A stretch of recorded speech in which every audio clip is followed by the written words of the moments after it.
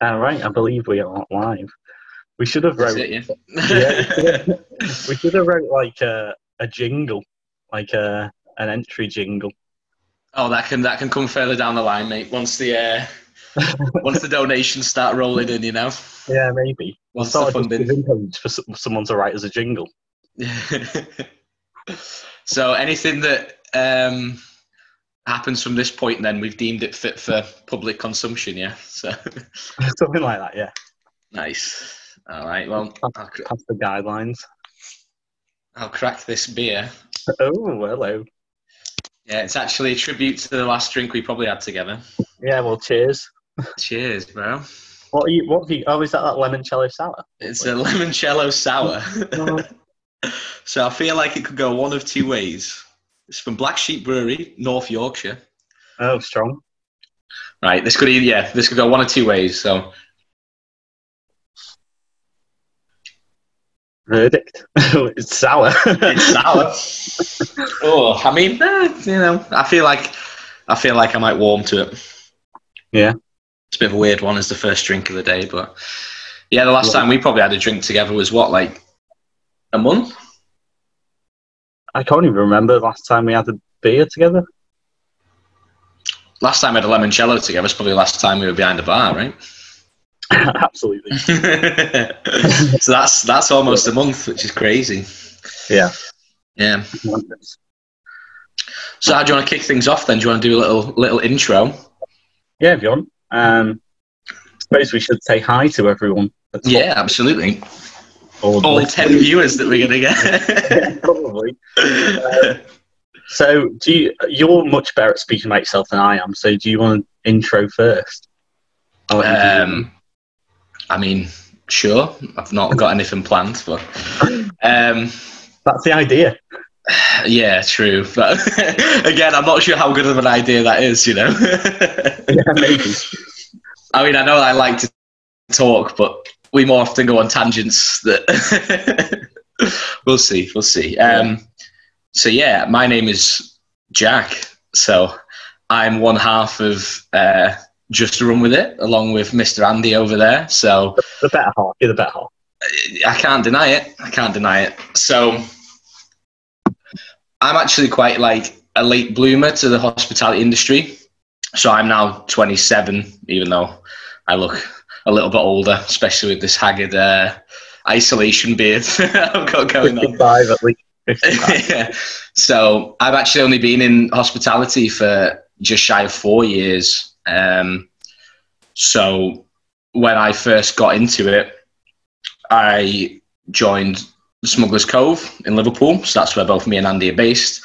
Um, and through Smugglers, that's where I met Andy, along with a lot of other people along the way. And kind of right off the bat, my eyes were open to a whole new world when it came to hospitality. Like I, I always enjoyed being in bars. I always liked being sociable, um, but certainly being on the other side of the bar um, and very much getting like a newfound respect for what it was all about. Uh, whether it be knowledge on spirits, wines, beers, cocktail making, just general showmanship, uh, the full works. So that's basically where I've been based for the last three and a half years. Obviously, in that time, myself and Andy, we've tried to kind of get involved in other things outside of that space, um, and more so in the last kind of like six to 12 months with movements that are happening in the rum world, particularly that are very exciting, which I'm sure we'll get onto at, at some point, uh, either in this or in future chats that we have, I'm sure.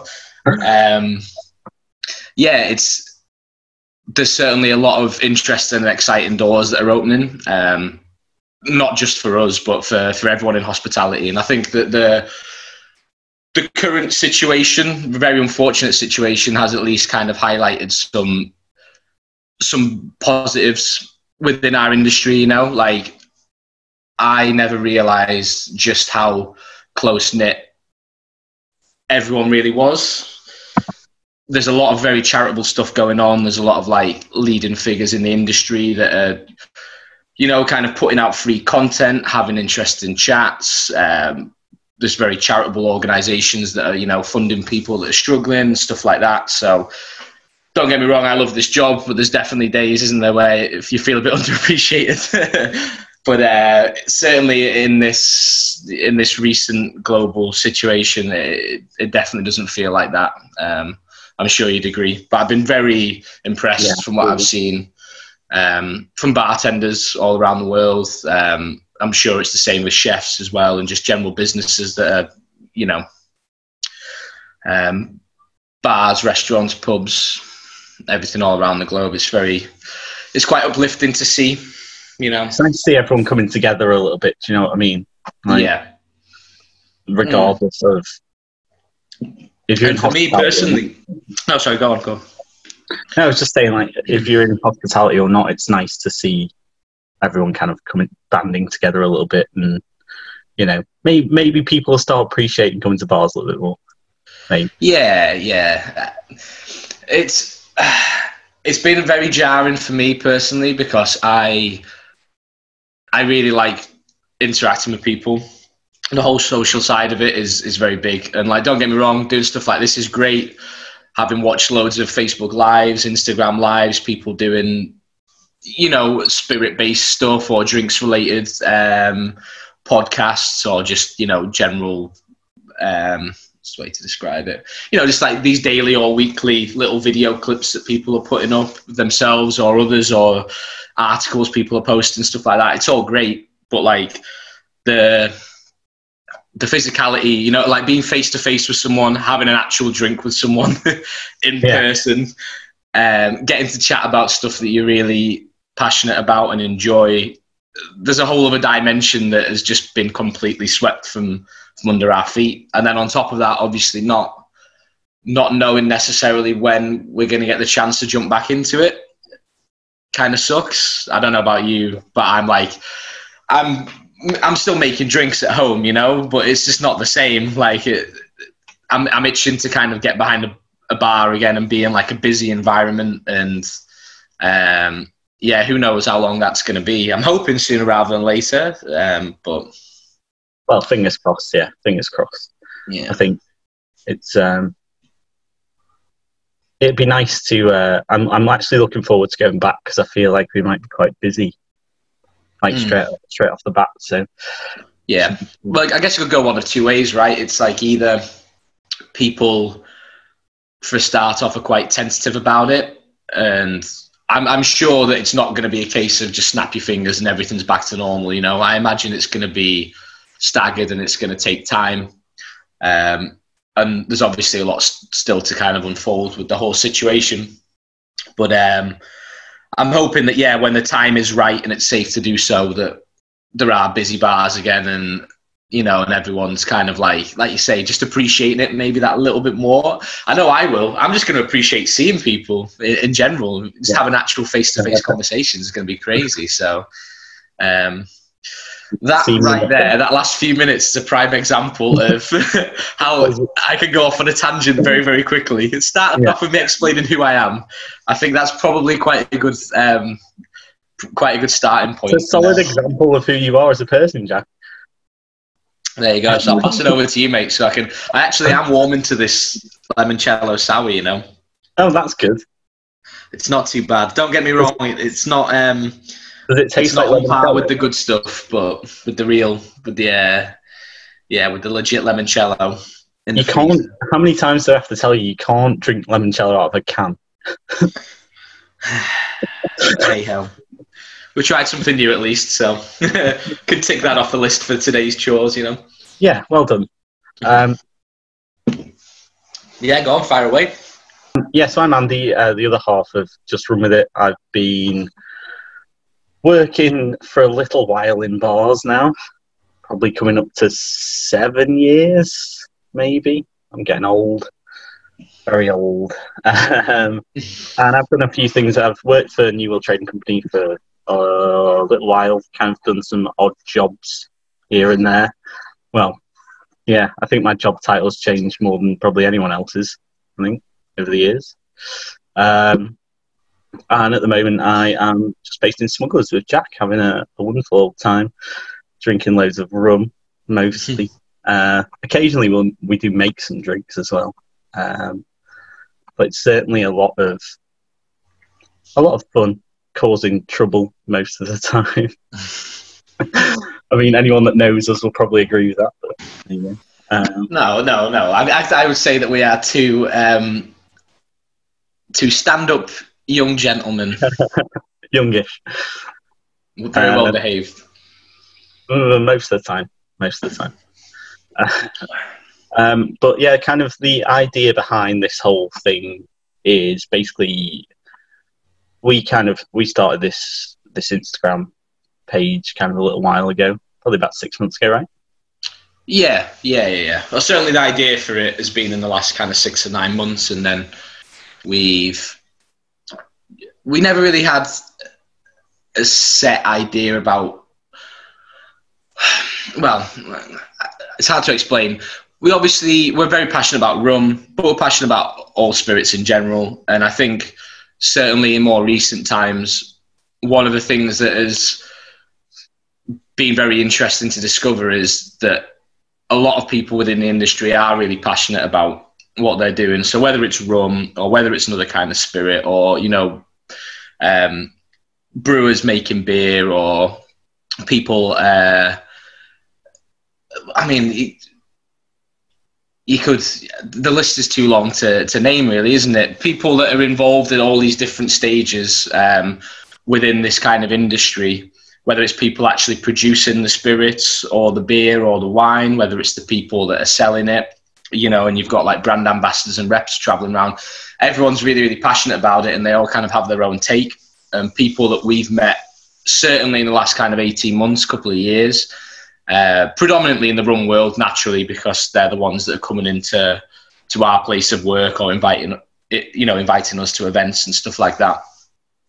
Found that everyone is just super, super passionate and interested, and people seem to just have so much time.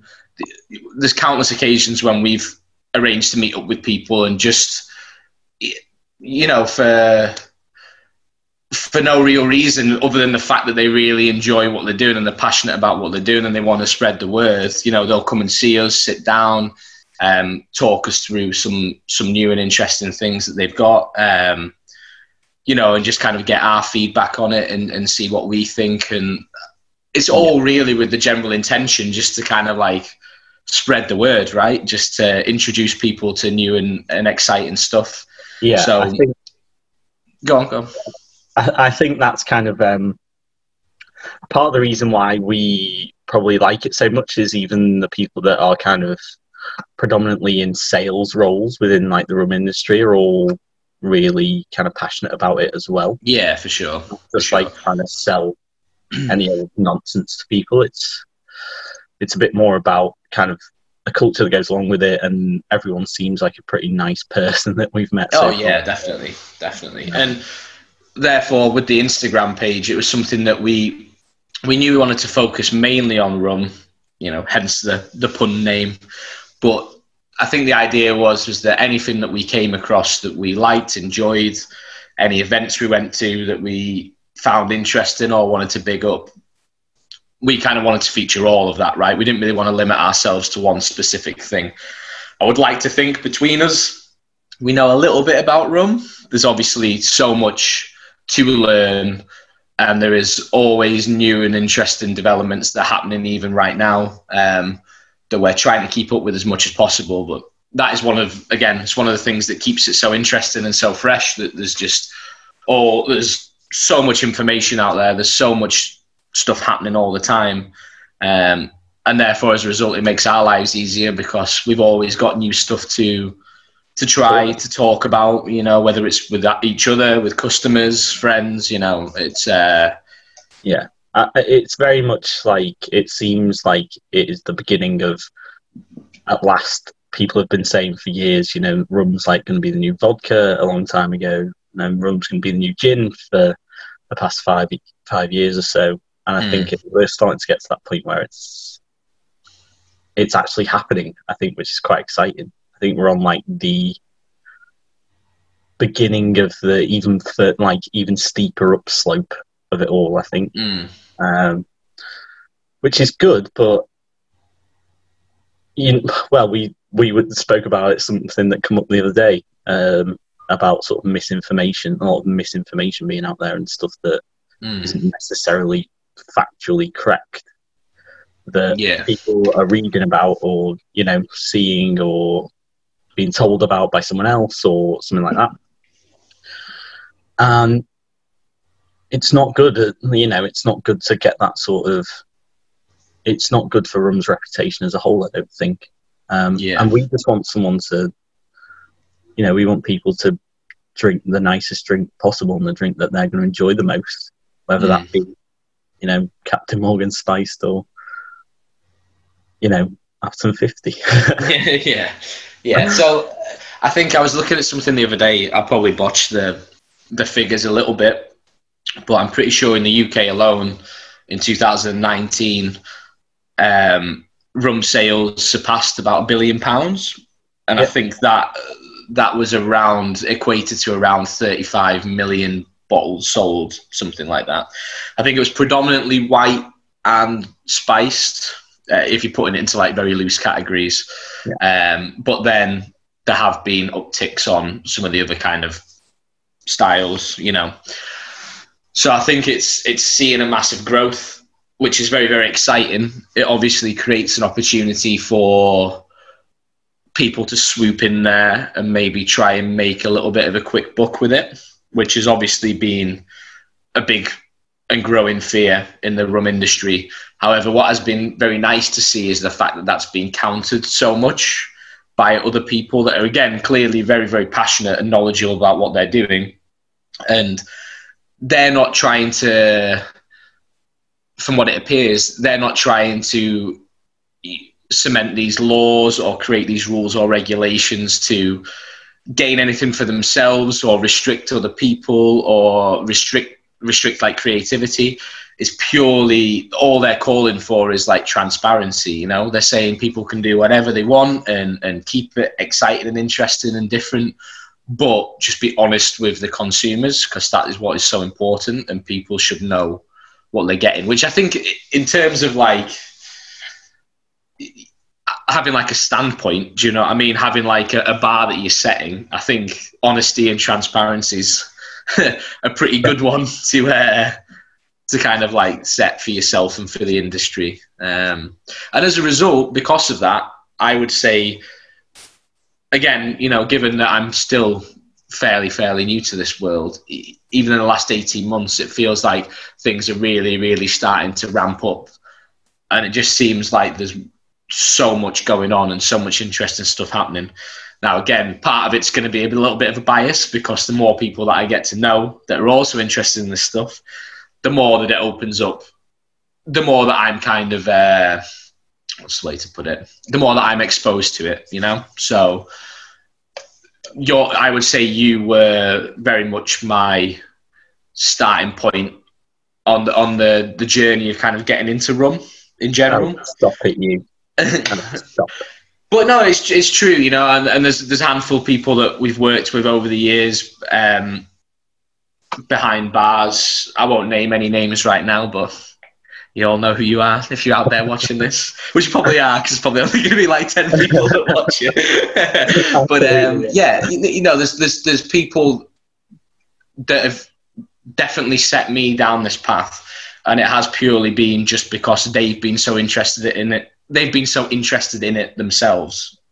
You know what Yeah. I mean? So, like, you wouldn't have spent all the time that you spent with me just talking about rum and, and drinking, and, and same with cocktails as well, things like that, and, and beer. You, you wouldn't have really spent that time doing that if you, you weren't passionate about it. And yeah, you, you know, you, people aren't really doing it through. There's no like um, perceived gain that they're going to get from it. It's purely just the enjoyment, and that's what I've really liked so much about a lot of people that I've met through through doing this job. Um, So fundamentally, I think everyone wants to everyone wants to drink a nice drink. Do you know what I mean? Everyone wants to. At the end of the day, like stuff these days is getting more and more expensive, especially in bars. yeah, So why not actually, you know, maybe pay an extra couple of quid and have something that you really, really enjoy, rather Mm. than having just, you know, a very bog standard rum and coke or something. Why not? splash out and you know get a nice daiquiri. Yeah. Well, I think that's what we try to instill in people that new members of the team that we take on when it comes to training. One of the big focal points of it is that product knowledge, that ability to offer choice, but doing it not in like a forced manner. We basically try and instill some like enjoyment uh, and excitement and interest in the products first. Like me personally, I would have a lot of trouble trying to sell something that I really didn't like. Um, I'd rather have a lot of go tos myself and have reasons behind why I enjoy them, and then use that tool to pass and pass on that knowledge to other people. So yeah. I think it, it it seems forced. If you have you ever been into a bar or just spoke to a bartender and it, you know it, it feels like they're trying to push something on you just because they feel like I don't know whether they've got like some kind of incentive going on or they don't really know too much about the products, so they've just got like a set, you know, list of things that they will like give to you. I think the more that you understand and the, the more that you know, the more comfortable you feel behind the bar, the more you enjoy it and the more you enjoy talking about it to other people as well. I used to be terrified of like, you know, someone like going in depth uh, about certain spirits or certain products in particular, or wine used to be a big one. Like when I started in in bars, I always thought that everyone that came up and ordered wine or asked for something specific they knew exactly what they were after all the time. Rookie and mistake. they would judge me on it if I picked something wrong. Um, yeah, and it just turns out that's not the case, you know. And, and the bottom line is, even if people do really know what they want, it, well, they know what they want. They're just going to pick it, aren't they? They're not going to. Uh, they're not going to question you for, for days about it. So the people that actually know what they want, are, that what they want, are probably the least fussy because they'll just come up to the bar and go, right, I want this. Yeah, I've looked at yeah. menu. I want this. But it is really nice to to kind of like try and spark that that fire in, in, in people that are that are new. Certainly behind the bar that we we work in anyway in the Smugglers Cove, we've got such a unique array of products and stuff to offer to people.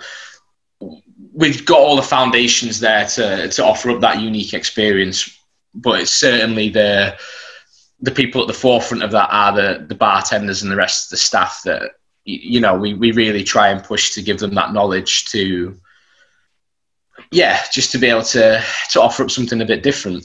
I mean yeah, i mean i mean at the moment we've got what 190 odd rooms i think. Yeah it's 100 i think it's 191 give or take if a few things are out of stock or we maybe see fit to try and include something something new you know Whoops it happens from time to time. Um, it would be completely us not doing our job properly though if we if someone comes in and enjoys rum and we weren't able to offer them something that they would enjoy though. It's yeah. that is I think that is kind of the fundamental kind of element of our job or one of is being able to provide people with a drink that they're really going to enjoy that they might not have had before, but they like a certain amount of other things that we can then use to recommend something else. Mm, Which, yeah. you know, it takes a lot of time. Unfortunately, doing a lot of research, drinking these things. Someone's got to do it, man. That's very Someone's true. got to do it. Um, but yeah, I mean, should we get on to a little bit about what rum is? Sure, sure. Um, I mean, you can lead the way on this one if you want, mate. You can give a little bit of a rundown. I'm sure anyone that's watching will have at least a little bit of prior knowledge. But if you want to give like the foundational stuff about yeah what rum is and a little bit about the history or something like that, and then we can talk a little bit about. Go on. We can talk about some personal favourites, you know, maybe some cocktails, some cocktail right. recommendations. Give people right something to do. little personal favourite. Um, yeah. Yes, well, we'll cater for everyone. Do you know what I mean? Some people might not know, Jack. Sure. Well, what we were saying before we kind of decided to do one of these was that we would obviously, I mean, it's our, it's our only real kind of way of communicating at the moment anyway, doing this. So we just figured if we were going to have a chat, we might as well just record it anyway in case there might be some pearls of wisdom in there. You never know. So it's very likely that we'll do more of these, and we would potentially hone in on specifics, whether it comes to certain styles or certain brands or geographically. Um, you know, certain uh, unique things in the rum world. So I think there's certainly a lot of stuff for us to cover. Put it that way. Oh yeah, absolutely, absolutely. But I think as well, you know, if there is anyone that does watch one of these and would like to maybe ask certain questions that we could include in future ones, or certain things we could delve into. As we said when we started, we're very likely to go off on tangents 95% of the time. So at least if we've got a couple of questions that we can focus in on, you know that that will at least keep us a little bit grounded. So, for anyone that doesn't have us on Instagram and would like to follow, it feels weird. It's the first time I've ever had to do this. So it's just rum with it, all one word, and that is where you will find yeah mine and Andy's joint little uh, nerdy Instagram page where we post all the weird and wonderful. So yeah, anything that you would like to maybe ask or feature, just uh, drop us like a, a DM on there, and we can I'm sure that we'll you know follow it up and there.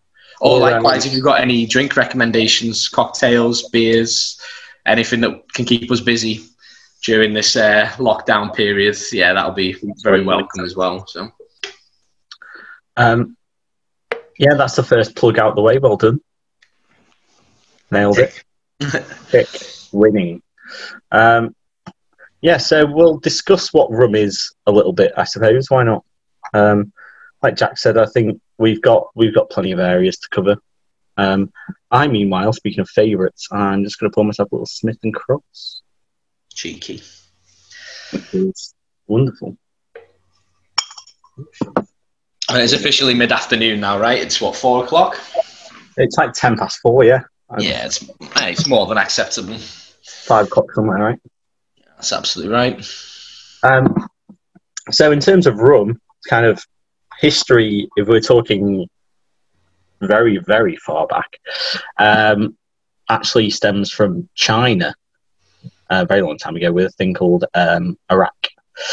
Um, it's kind of really, it's quite hard to find these days, actually. I mean, there's a few producers out there, um, but they're not anything huge. It's not massively popular. I mean, in Asia, you'll see it quite a little bit people tend to um, use it quite a lot in uh, sort of these countries like Bali, Thailand, where a lot of uh, people go backpacking and stuff like that. They'll uh, actually replace rum for Arak. Um, but again, I'm sure we'll we'll get into that. Really. So, is it is it typically?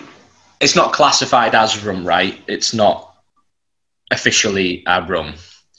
Uh, not, it, it's kind of it uses sugarcane in the process, yeah, but also I think it uses some rice as well. Right. Okay. Um, which kind of it's kind of like somewhere in in in between, but mm.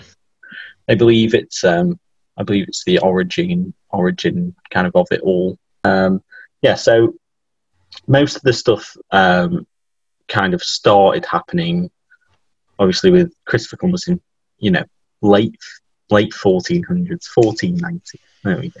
Um,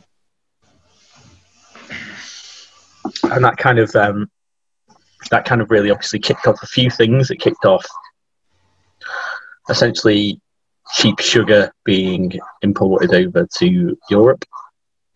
Um, kind of kicked off all the spice trade as well, um, amongst other things, and obviously slavery, which is a bit depressing, but here we are. Jack looks suitably depressed. I'm just listening intently, mate. That's all it is. listening, listening um, intently. So this is kind of a slavery was kind of basically a way of cultivating sugar very cheaply, so they could yeah. transport it back to, you know, well, mostly the UK to be honest, um, and kind of the rest of Europe, and we could all enjoy sugary treats. But, you know. Yeah, I think it's it's a shame in a lot of ways that it has such a dark history, but I think it's a very, very poignant thing. I, I, don't think it should be forgotten about that. That is kind of where rum really started up. You know, um, it's. I know, like when we do masterclasses and we talk about the stuff, it's quite a quite a glum place to. It's quite a glum starting point, but um, you know, it, it, it is what it is, and I think it is very important that uh, it's acknowledged. Yeah, absolutely. I, I, you know, it's it's obviously not a nice thing to happen, but it is it is part of the story of Rum. You know, um, so basically the idea, kind of rough idea surrounding Rum. I mean, again, if we do any more of these, we'll probably do a whole thing on kind of a bit more in depth on Rum history at some point, I imagine. Um, but the whole kind of premise surrounding Rum basically was um, the slaves would basically be fed molasses, which is a byproduct of making granulate sugar. Uh, they'd give them the slave, like plantation owners would give them, give the slaves, they'd water it down with some water and give them this molasses because it's still full of sugar uh, and some vitamins and minerals and stuff from the sugar cane itself. So basically, um, these this kind of molasses would be left out, um, kind of in open top containers, just because it was for slaves. They weren't really that bothered by it. Well, the plantation owners weren't really bothered if you know flies went on it and stuff like that. Um, so what would happen is yeast would fall on top of this molasses and start turning the sugar into alcohol. Um, they'd essentially be drinking molasses beer, really effectively. Um, that's kind of where once kind of plantation owners cottoned onto this, that they could use this essentially almost waste product in molasses to kind of make more money by making rum with it. Kind of boomed from there, and look at us now, a billion pounds worth of sales in the UK last yeah. year. Crazy. Yeah, no, so that's um,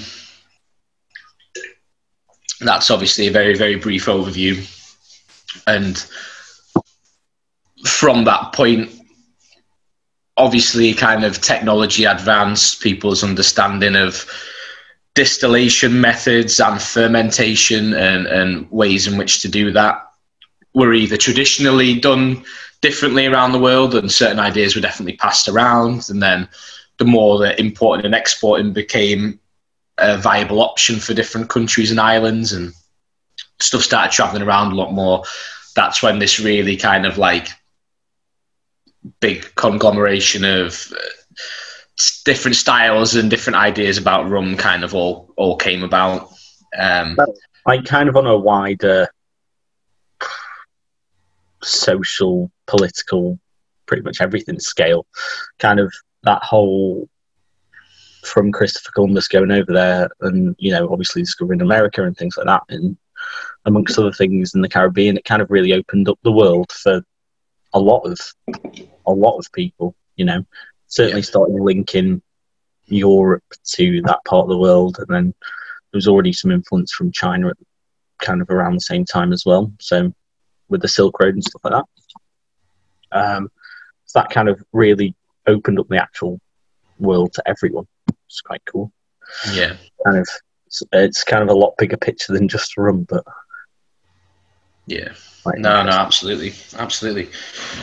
But uh, yeah, from someone from someone that came into it a few years ago having no idea and, and knowing what I know now, what would you say to someone that was completely new to rum and asked for recommendations about like I'm I'm sure for anyone watching this that, that doesn't really know much of anything about rum, there'll be a few brands in particular that they they recognise.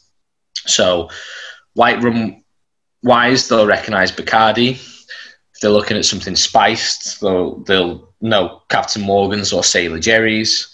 And then if you're going darker, it will be typically what is classified as like navy rums. So they might know like lambs or woods or something like that. So someone was trying to get a bit of an idea about rum styles. What what is your kind of take on that? Like, it's, it's all a bit of a grey area, really, for me at the moment. I think it's we've come into this sort of crossroads where I don't think you can really define white rum as just white rum anymore. I, I think there's so much variation. Like you know, we drink some stuff that is very very weird, but it's white rum still. You know, you, if you're classing it as white rum, then it's in the same category as Bacardi, when it couldn't be further removed from it, Yeah. aside from the colour, essentially, or lack of.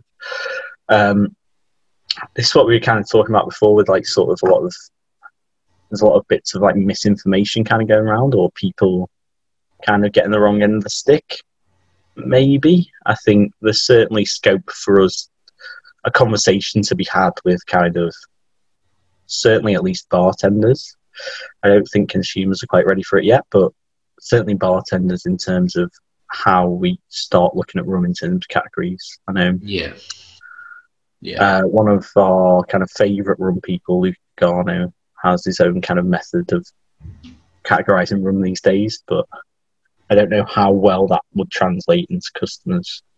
Yeah, it's it's a difficult one, isn't it? And uh, it's one that there's a lot of back and forth about within the spirit category at the moment. It's trying to find that fine line between keeping it streamlined and understandable enough for the average Joe, but then at the same time covering all bases and satisfying the needs and and wants of the kind of nerdier consumer but it's definitely a starting point that that I find myself going to more and more now when it comes to introducing people to rum. I I always say that one thing that makes it both very difficult but very interesting to learn about is the amount of variation that's that's out there. Um, I think a bit of a misconception is is the fact that there's like no rules and regulations to it, and there's you know, unlike something like um, you know certain spirits if you think about like cognac or armagnac or uh, a lot of wines or champagne or you know scotch bourbon stuff like that they've all got certain um certain stylistic qualities that comes from uh, where it's actually made how it's produced raw materials you know etc so people think that because rum is made all around the world rather than in one specific place, um, because there are loads of different colours and styles and flavours and things, people think that there's not really much of a thread that runs through it. Uh, I don't really agree with that. I don't think that's the case. And again, it's a very important movement going on at the moment within the category. I think there's a lot of discussion about the likes of GIs, so geographical indicators, and whether certain islands and certain countries can use. Um, it's essentially like a stamp of approval, right? So if something comes from a certain island, it has to have abided by set rules in order for it to be classified as, for example, uh, a rum from Barbados or a rum from Jamaica or a rum from Mauritius. Uh, you know, I think that it's it's another. It's it gets kind of dicey, doesn't it? But it's an interesting step in moving forward and trying to provide as much transparency and honesty with the consumers as possible. Um, there are obviously people pushing back against these kind of suggestions and recommendations. There are some countries, on the other hand, however, that already have the GIs in place. Uh, yeah, and it's very interesting to see that see the shifts in opinion, but I think it's going to take a while for it all to come together.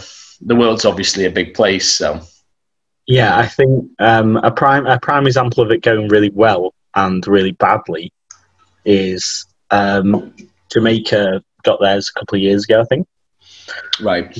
Um, and I believe that was a fairly breezy process. I don't think anyone had any major disagreements with it. I mean, there's like what six distilleries on the island, like Mm. big ones anyway, uh, and they were all fairly on board with it from the offset. I think everyone Jamaica has a very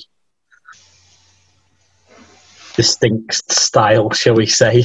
Um, anyway, so uh, they'll kind of just carry on. They they'd have carried on doing what they were doing, regardless GI or not. Really, I think it's a bit more to protect outside people coming in to Jamaica and trying to make room there and calling it Jamaican rum. Mm. Uh, I think the actual people that are from Jamaica that basically look after all the distilleries there, I don't think they see any issue with it. But then you look at Barbados, that's got some outside interests there, shall we say? Um, with sort of you know plantation being there and and then actually Bajan people kind of looking after the majority of the other distilleries. I think that's when it starts to get a bit messy, like it has done. And there's not, I don't, it doesn't seem like there's going to come to an agreement anytime soon. I don't think on on Barbados. I, I think it's mm. going to be.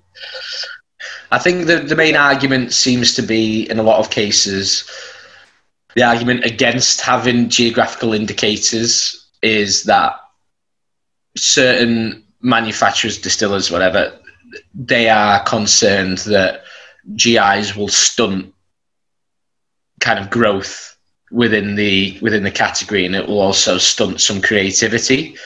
Whereas people that are really pushing for the GIs, for the stricter rules and regulations based in certain areas, their main concern is that they have their way of doing things. The reason why rum from from these certain areas is so popular is because of the certain stylistic qualities and where where they come from. And I think that it's yeah, it, it gets so tricky because it, it is just such a it is such a tightrope walk, isn't it? Really, like it's. I, I still personally don't fully know even where I stand with it. I think I definitely much more lean.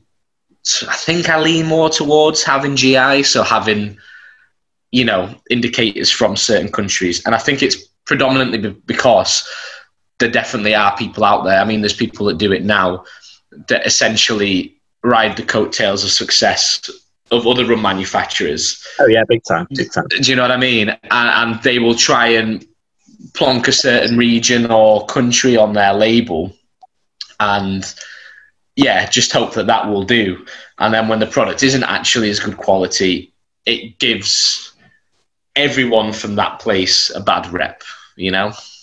And if me personally, if if I'd been working for for years and years to really cultivate a a good name, you know, uh, and a good quality product, and then that was just being completely overshadowed and ruined by someone else just kind of like jumping in there. Yeah, I can I can totally understand why people. I can understand why it's a very touchy subject. Yeah, per, well, personally, I think I'm all for it. I don't see. Essentially, the GIs there. Well, let's take Barbados for example. The only reason it's there is so if you put its Barbados rum on the bottle, it follows this criteria. You can still make rum there, however the you like. Um, it's just you won't be able to call it. You won't be able to put on the bottle. It's Barbados rum. Yeah which it kind of it just protects that name of you know people like Foursquare Mount Gay that are kind of you know really trying to trying to keep that sort of it's almost like brand reputation you yeah. know it's almost like pe- people who get by well certainly us too if we bought a, a bottle of rum that said barbados rum in it we kind of know what to expect going into it i don't think I mean, some other people might not, but we certainly yeah. would. And I think it's a bit more about protecting that. Yeah, yeah, but it's um, I think that the the push to these various directions that people are moving in and the general ideas about what they think is acceptable or what's not, what's right, what's wrong, and just this increased kind of like internationally, it feels like everyone's more connected now than ever. And as a result, there's been some like super unique and interesting stuff kind of coming to the, the forefront. There's certainly been some rums and things that we've tried that are just like mind blowing. And we're obviously in a very fortunate position where we we kind of have it at our fingertips all the time. I totally understand why someone wouldn't want to just dive in without any prior knowledge and try a really expensive bottle of rum, or I can I can totally understand why people have certain preconceptions about white rum.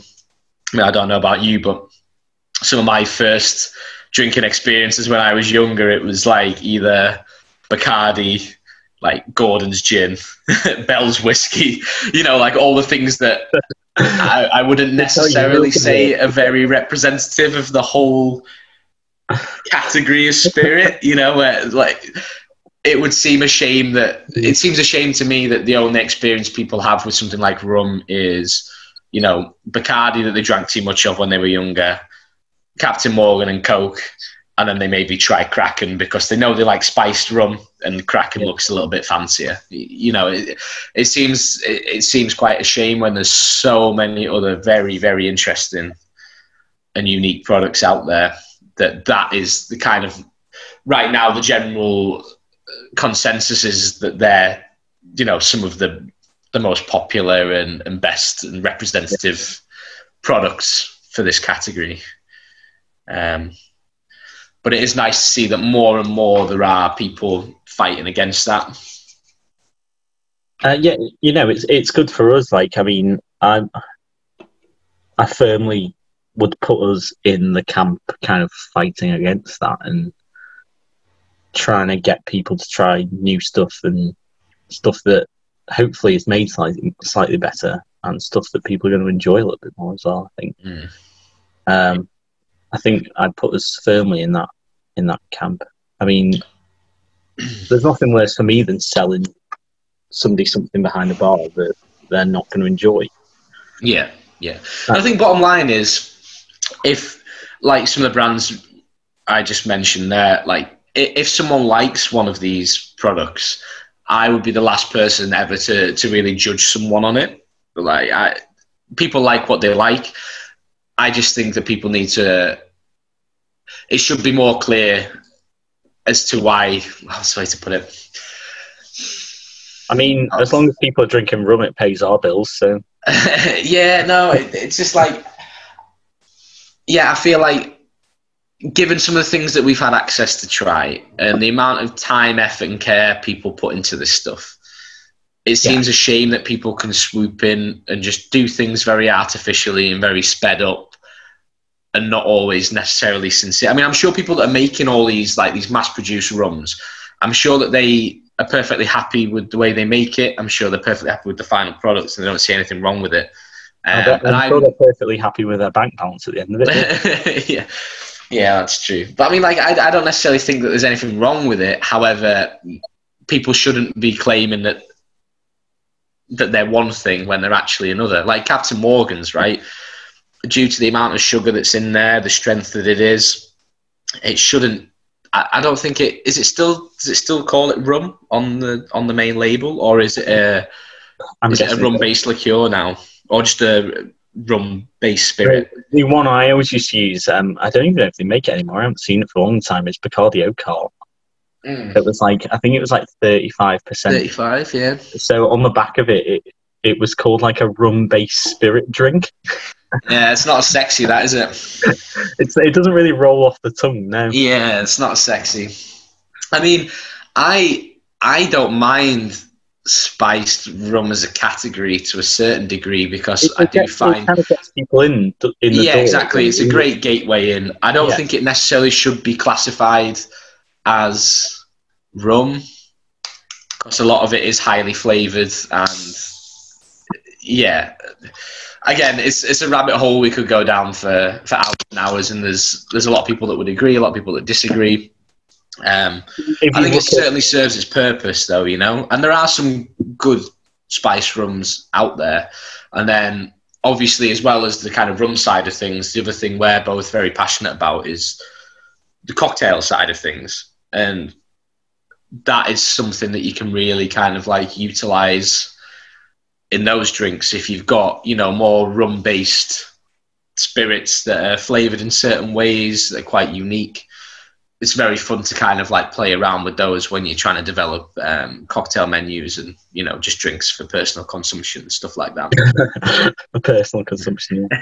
um, well, yeah. I mean, you look at when we were we've been sort of um, designed this new cocktail menu for smugglers and stuff like that. It's um, you know, we've used quite a lot of, well, certainly a few drinks have got spice rum, you know, flavored rum anyway. I know we've used like some Chairman Spice, we've used some Diablesse Clementine. Yeah. Um, it's not like we we shy away from using these things. Uh, it's not like Yeah. us being snobby about it. I don't think uh, yeah. But again, you see, like those two, they're they're two very interesting and prime examples of spiced rum that I would recommend to a customer that came in and they just said, "I don't really like rum. I'd drink a Sailor Jerry's and Coke." I'd say, well, you know, maybe maybe try something a bit different. And nine times out of ten, the, the reaction to it is really, really good. Um, so we have returned from a little drinks break slash smoking break slash whatever wee break, all the above. Well, I believe it is like it's what 20, 20 odd degrees outside right now. It's glorious outside right now. Yeah, it's it's actually uh, it's like a tease, isn't it? You know, it's like I can guarantee when everything's back to normal, it's going to be cloudy, raining. Oh, 100 percent. Yeah, let's all. Um, it's a glorious uh, Easter bank holiday weekend. But um, when but we've all got to be inside. So when it kicks off again, it will be miserable. It'll be pissing down for like three weeks. No doubt. Um, If, I was just going to say, if you could have if you could have one one drink right now, cocktail wise, that you might not have the ingredients to make, what do you reckon? Yeah. Hey, that's oh, that's a very good question, Jack. You should be like a. Someone did an English degree. Um, what are you thinking? See, I'm Maybe quite. you know what? As like a zombie, like a really heavy. Yeah. Yeah, like a Mai Tai. A Mai Tai would be great. Oh, do you know what? One of those um, Appleton twelve mai tais. Yeah. Yeah. Yeah, I haven't Yeah. got any otherwise. though. And that's the thing at the moment in mine. I think the the only thing that I'm lacking from looking in my drinks cabinet is rum, because it's kind of like the first to go. Oh yeah, yeah. When shit when shit hits the fan, the, the rum is the first. Um, don't get me wrong, I've still got plenty of stuff, but I've got some like bourbon, whiskey, liqueurs. I've even got like some Aperol, a bit of vermouth. Oh, an Aperol spritz would be delicious right now. Yeah, I've got some little cans of soda as well and prosecco in the fridge. So lucky, yeah. Yeah, I've got, I've got it. Yeah, I'm, I'm well equipped over here. Can you like make a bucket of it and just throw it off your balcony, like into my mouth and I walk? And leave it outside your gate and knock and run, run away. Do you reckon I've got enough um, Smith and Cross to do like a, a hurricane? Do you reckon that's 120 mil? Yeah, I reckon he'd get away with that. But once that's gone, it's gone. Yeah, I don't really want to waste it on one drink. A little Smith and Cross flip, that'd be banging. Oh yeah. Oh, I might do that. You know. Yeah, The is, um, our wonderful friends at the Whiskey Exchange are still delivering. God bless. God bless their souls. I think they are. You know, I think they're business as usual. Businesses. I believe Master of Malt is the same as well. I'm pretty sure when we were chatting earlier, we were saying about um, how it's really good that there's a lot of charitable things going on, you know, within the industry. And I think suppliers like these, I- I've seen like special, I know speciality and whiskey exchange are kind of linked, but I know they've been doing like, uh, Edrington Beams and Tory, wasn't it? That were um, giving out those little packs to all. yeah, doing like little hampers for people with like food in and stuff. And then there's been some organisations that are doing like cash donations to people and and Yeah. yeah, just like some relief funds set up and stuff like that. It's really good. It's really really good to see. You know I've just uh, seen on here, which is new in, Oh. but so they've got. Um, it says it's, it's Doorly's three year. It calls it overproof. Oh yes, I have seen that. Um, it's like forty-seven percent. Forty-seven, yeah. Boom. I bet that would make a I'm not powerful. just a pretty face, guys. I'm not just a pretty face. I remember things about rum. I bet that would make a powerful daiquiri. Yeah, we're probably going to have to get one of those, aren't we? All the Doorly stuff is so reasonably priced. It's so cheap for what it actually is. Like Doorly's XO, thirty three ninety five a bottle. Such good value for the quality of the product. It's insane. that is ridiculous. Mm. Yeah, that'd be worth trying. That though, slightly um, more potent Doorly's three. So to get that straight, the Doorly's XO, which is is it about eight? Is it eight to twelve years? I think so. I think that's the blend. Is thirty three pounds, right? Is that on whiskey? I think. Thirty three ninety five. Yeah. So a bottle of Kraken on Whiskey Exchange is twenty five twenty five. So it's been matured. Oh, so it's been matured for at least six years. Finished in Oloroso sherry casks. It's incredibly good. It is. Um, if you want to buy a bottle of Kraken for 25 25 spend It's quite please expensive. Spend, spend the extra eight pounds. I didn't realise that it was that expensive. I think you, you can get it for cheaper, obviously, but it's, I don't I don't think Whiskey Exchange particularly wants to sell a lot of it. So Yeah. Oh, when I was in the when I was in um, the US at the back end of last year, and if you go into liquor stores, they have like these crazy 1.75 liter bottles. So they've got like all the everything you'd expect. So they've got it's like Bacardi. They do massive bottles, but they do massive ones of Kraken, and it's exactly the same bottle shape, just enlarged. oh wow, it's ridiculous. I don't know who needs nearly two liters of, of Kraken. I guess it's people like throwing like house parties or something. I've got one question: Gone. Are the finger holes any bigger? Yeah, yeah, yeah. No, it's, uh, yeah, it's everything is just enlarged. I didn't it's think we'd massive. get into this. I've, I've got a picture somewhere. I, I won't be able to find it right now. It'll take me too long, but I will. I'll send you a picture afterwards because I had it. I, to do like a um, size comparison, I held it next to my head. I and feel it's, like we've, strayed into very strange territory talking about finger holes and no, no, I'm just just saying, just saying. I, I don't know who needs 1.75 liters of Kraken. But yeah, I didn't Um, realize it was so expensive, man. I thought it was still cheap. But I guess the way it's kind of marketed is it's like it's the step up, isn't it? It's like Captain Morgan's, then you've got Sailor Jerry's, and then after that, it's like Kraken. They're like the the little steps up. by comparison, are probably would you say our favourite spiced rum? I mean, it's Chairman's right? I really like Chairman Spiced, and especially for the for the price point as well. So yeah, like what are you Chairman- looking at? It's like 20, 23, 24? It's gone up a touch. Um, so one Whiskey Exchange at the moment, it is twenty five ninety five. Right. So for an extra seventy pence, you could be drinking Chairman's Spiced instead of Kraken. Yeah. Which is, I think the, the thing that's so nice about that is I, I'm I'm pretty sure they obviously still add sugar to it, but in terms of the, the way that it's the way that it's spiced, it's what it's like a blend of three to four year, right? And then they kind of like steep it in the last year with the I almond, think it's about six months. Yeah, yeah, almond, orange, cloves, cinnamon, nutmeg, allspice, and whatnot. So the flavors that you're getting from it are like really, really.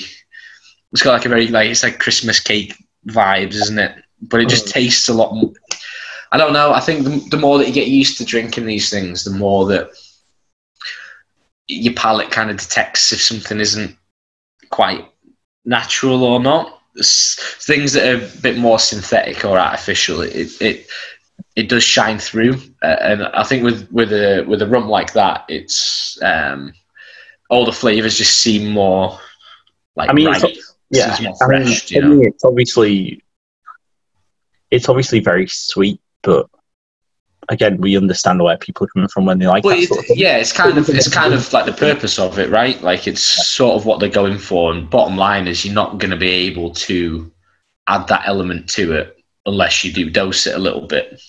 Yeah. Yeah. I think um, it's one of those things that we'd still drink it. Like, you know, I remember us drinking a bottle of it in what an hour and a half. I, I don't. I don't remember. uh, well, I think I think it was the couple of zombies each we had afterwards that probably really finished us off. yeah. No, I mean it's yeah. It, it works great as a. It works great as a mixer. It works great in cocktails. Um, and I Come think is it. a great. Sorry, go on. Oh, sorry. I was gonna No, no, go ahead. This is a great segue to. Uh, it's like we're professionals at this. Uh, segue into uh, the probably the kind of stay-at-home competition that's been going on during all this thing that I am most excited about.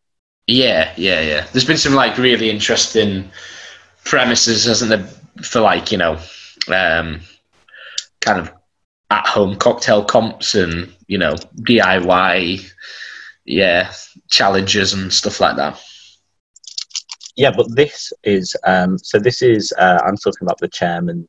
Oh, I was I was wondering where you were going actually. We were literally talking about this before. I, I feel like this is a great segue into it. nice, smooth. I like it. Keep the transition going. I mean, you've you've cocked it up a little bit. I'm not by uh, where the hell are you going with this? Uh, but we'll take it. I mean, we're new at this, so we're doing all right. Um, so this is the uh, a really interesting thing um, by Chairman's Reserve. They basically do. Um, well, Jack, I'll let you explain it while I get the website up. Oh, thanks. well, yeah, from from what I've seen so far on social media, it seems like they are doing a basically create your own spiced rum um, using chairmans as a base. Um, so the idea is is that you are kind of tasked with devising and developing your own reasoning behind your own concept for a spice rum, sort of using chairman spiced and, and the the flavors that they chose to use as a kind of like a basis to work from.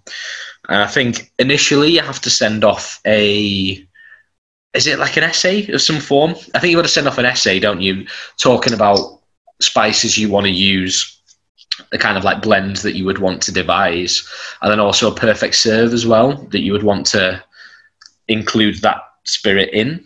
And then I think if the panel of judges are happy with your kind of inspiration, then you will get sent a spice pack. And I think, if I remember rightly, I was watching this the other day, but off the top of my head, I think you get sent um, almond, orange, cinnamon, clove, Let's Nutmeg, allspice. I think you get sent six, and then I think you're tasked to add three of your own and use chairman's white as a base. I think. So, um, yes, so basically you have to um,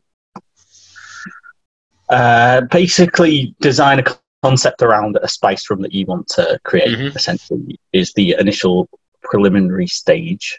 Um, and basically, like, you have to explain, like, your vision, your inspiration, um, like a perfect serve for it, etc., and how and why you'd want to promote it in in the kind of drinks community. Um, right. Okay. That's cool. and then once you've done that, like you don't have to you don't have to submit a recipe or anything like that. So it's it's really kind of like, I mean, you have to think a little bit about it, but you don't have to get specifics of I, right right. I want this, this, and this in my room, is Mhm. quite nice. And the second round is like Jack said. Um, you get to create a spice rum uh, with chairman, so it can either be the normal chairman's reserve or the white. Um, and you get in this little kit, you get sent. Jack was close, but not quite right. Close, What did, what, did, what did I miss or what did I get wrong? Go so you got vanilla, dried orange, nutmeg, cloves, almonds, and cinnamon. Right. I think you said all allspice in there somewhere. Yeah. Yeah. Uh, and then you get to personalize your blend with three additional spices of your choosing. Cool. Uh, but you obviously get to do this at home as well, so you can experiment with different ways of actually infusing the rum with these things. So you might have a Mm. really obscure ingredient that you want to, you know, maybe create an essence of or do something like that. It's it's quite interesting. There's certainly. I think you can use like a lot- you can use other spirits to like infuse the spices as well. Is that right? Like you could use vermouth Or- Uh, yes, other it says uh, one of the bullet points is other higher proof rums or spirits may be used in creating spice extracts. Um, Yeah. So you know you could realistically you could almost make like a some sort of weird bitters blend almost. Yeah. What I, what I did like, if I remember rightly, on the checklist at the end, the final bullet point is you can't use anything illegal. Yeah, it does say no, ille- no illegal ingredients, so um, nice. yeah. probably half of Liverpool out. No, I like it. No, but things like that, it's interesting because it, it's, yeah, like I was saying to you earlier, I think the hardest things that I've found is the not being able to be sociable so much anymore, or certainly not in the way that I would like to be, you know, face to face with people. And I think also just fundamentally, like actually getting to do the job. Like, bottom line, I enjoy making drinks, playing around with different spirits and different flavors. These kind of like it seems like daily, you know, tasks, little comps, things like that. It's still keeping everyone connected. It's um, you know, getting the creative juices flowing a little bit and just kind of like challenging you to do something exciting. And I think I'm pretty sure in this comp anyway, the some of the winners get to go to St. Lucia, right? Like, um, I think that's one of the. Uh, let's see. Uh, yes. Um, all expenses paid trip to St. Lucia. I mean, Yeah, you can't complain about that, right? I have a funny feeling our good friend Dave Marsland will be on that trip somewhere because he goes there about bloody six times a year. I bet he's, Well- he's I bet he's driving he's up the wall at the moment because he's not been there for like two months. well, I mean, I've been sat in my flat for nearly a month. I would, I'd be happy just to walk down to like Liverpool one right now and do a few laps, you know. So, yeah, getting to go to a lovely island like that, I'm sure wouldn't. Uh, I mean, apart from going to St. Lucia, you do get to um, work with Chairman's Reserve Master Blender and create your own spiced rum. do you actually get to use the what you've devised to? Uh, so it is basically a winner from uh, Europe and a slash Asia, one from the USA and one from St. Lucia. So uh, I'm guessing three people, the three people that win, and we'll go Yeah. over there. Uh, nice, get to collab with some other cool kids from around the world and uh, nice, nice. make some delicious rum, which it sounds horrific. Uh, the winning team will be credited on this single release that should be sold worldwide. I mean, oh wow, you get your own rum. that's quite a clever little marketing thing, that isn't it? It's like you get someone else to devise something insanely tasty. Yeah. Then just I mean, yeah, fire there's a out. great there. countdown. There's a little countdown on there as well. Uh, so you've still got 35 days to enter at the moment. So we're on the 10th of April right now. You've got 35 days. So there's Cool. a little bit of time. That's cool. A little bit of time. Well, I mean, speaking from experience, I was in the the chairman's Mai Tai comp last year, and again, I think the way that they structure that and what it kind of like challenges bartenders to do is really, really interesting. You know, you've got a fair bit of time to devise the drink that you want to make. You get to be quite creative with it, and That Mai Tai was delicious as well, by the way.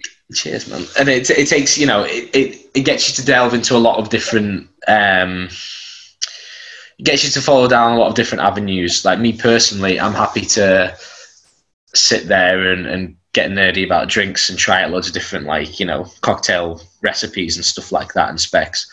I'm not so good on like the kind of social media side of things. It's not anything that I've ever been really super into or like confident like confident about like going on camera or like taking pictures and, and documenting. Every time I go in a bar I'm not taking a picture. Even though like I've been to plenty of bars that I've really liked you know uh, my personality I, I end up just like talking to the people that are there more. You know I'll talk to bartenders and, and, and people and I won't spend as much time you know Instagramming and, and, and tagging and whatnot.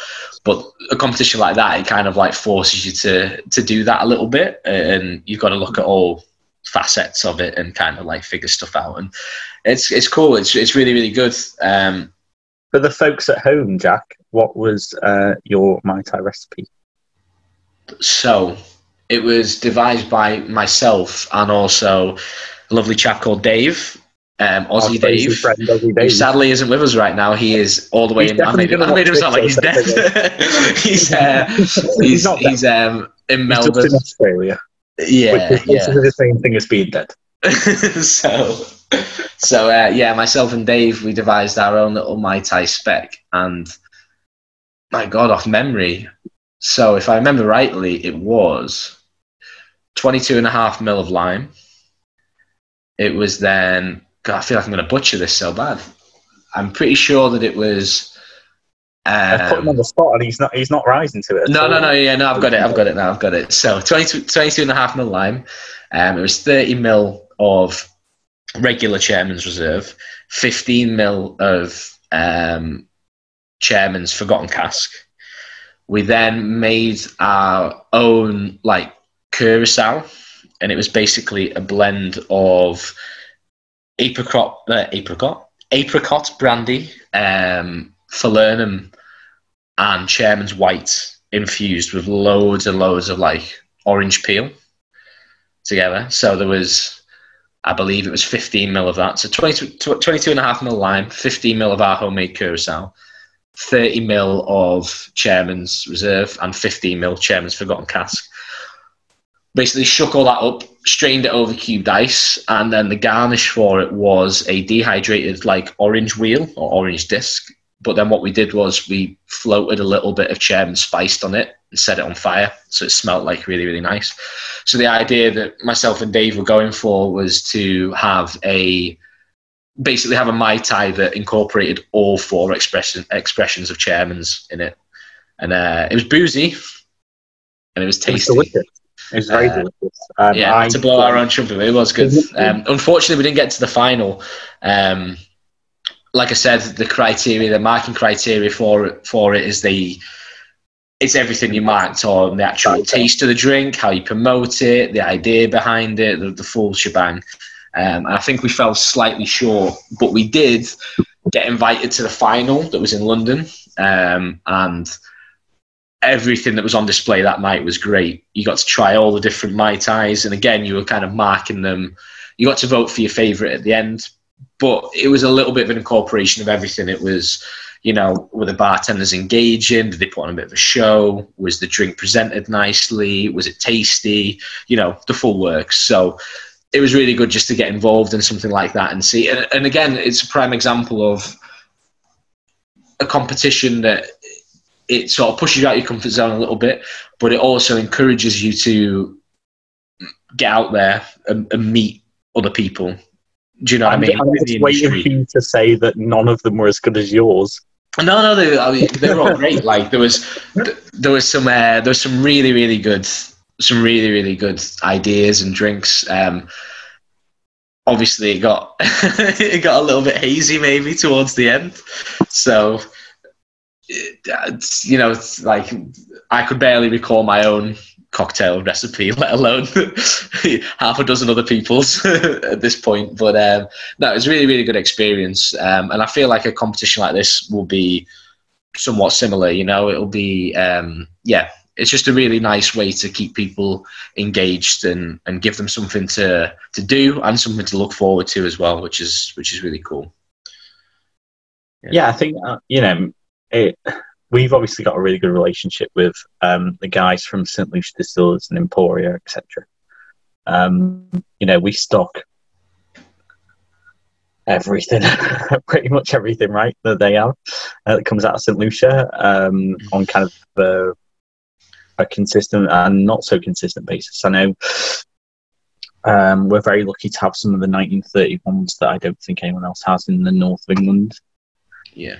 Um, you know, there's probably two or three places in the whole of the UK that stock them. I think some of the expressions we have anyway, uh, which is really nice. Uh, but the reason why we like people like this is because they are, and to not sound really Liverpudlian about it, everyone's dead sound. yeah. Nice. Uh, you know, like all these people that we interact with from kind of look after stuff like that are really nice people, and you know we know them very well, um, which is good. Um, a few exciting things coming up. so we're probably going to do some more of these, no doubt. It's kind of slowly start wrapping up. I mean, Jack will probably start waffling again. yeah. Uh, but uh, yeah, so we've got uh, Rumfest, Manchester Rumfest, um, organised by one of our very good friends, Dave, has been rescheduled because it was supposed to be. So it's going to be April the 4th. ago. Yeah, so. And, uh, but obviously, this whole thing, which is great for me because I was supposed to be in Mexico, uh, so I wouldn't have been able to go. So Silver linings, good- glass half full. I like it. It's good. Yes, exactly. Uh, and it's now rescheduled for the 29th of August in Manchester. And it is at. Where is it at? I can't remember the name of the venue. You know, Viaduct Warehouse. There we go. that's the one. Uh, yeah. Which would be really fun.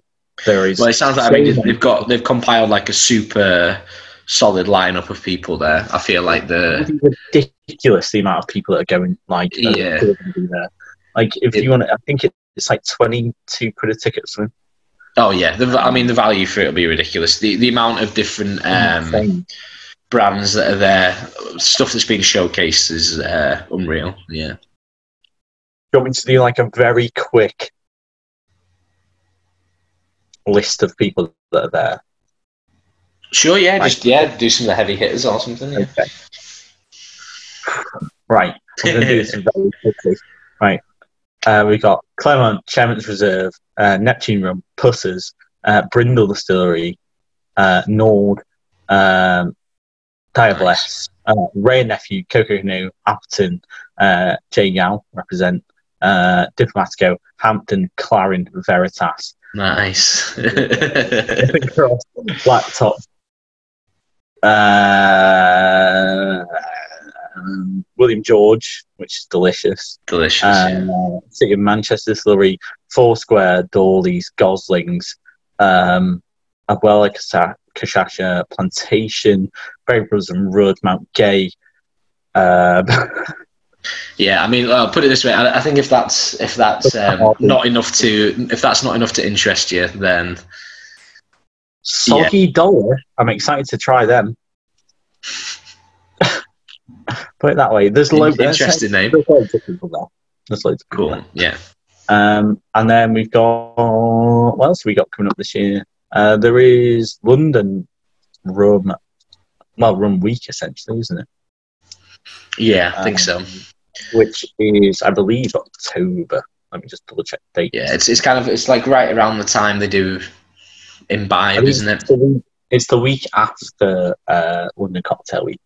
Right. Uh, so everyone's probably already hungover anyway, and then we go and drink loads of rum. Probably not going to end well. Um, it's always fun. It's always great. Um, I believe it is the 29th. No, sorry, I'm lying. It's the uh, 17th to the 18th of October. Cool. Cool. Um, tickets Well- aren't available till July. Yeah. Well, hopefully by then, you know, all this situation will have breezed over. You know, hopefully we're at the other at the other end of it. Yeah, and then we can all drink rum together again, which would be great. Because me just drinking on my own like this, it's a bit depressing. Hey, you're not doing it by yourself, you're doing it with me and, and anyone that's out there. So, Yeah, right, well, should we wrap it up for today then? Um, and then, yeah, maybe come back to this at some point in the next few days, have another little chat, see if anyone's had any questions for us in the meantime. And, uh, yeah, well, yeah, just more finish then. I mean, if anyone uh, wants to ask any questions, um, basically, if you've seen this on whatever media you're seeing it on, just comment underneath it. And me and Jack have got nothing else to do, so we'll probably read it and then either answer it kind of in the comments or we will do a little bit on it if it's an interesting enough question. Yeah, absolutely. Absolutely. Um, Sure. I think we've got some really exciting topics to talk about. So if you think this one's a bit boring and we've been a bit waffling on a bit, um, I think um, it's hopefully only going to get a bit better once we're a bit more used to doing this. This is the first time we've ever done it. So Yeah. uh, yeah, that's about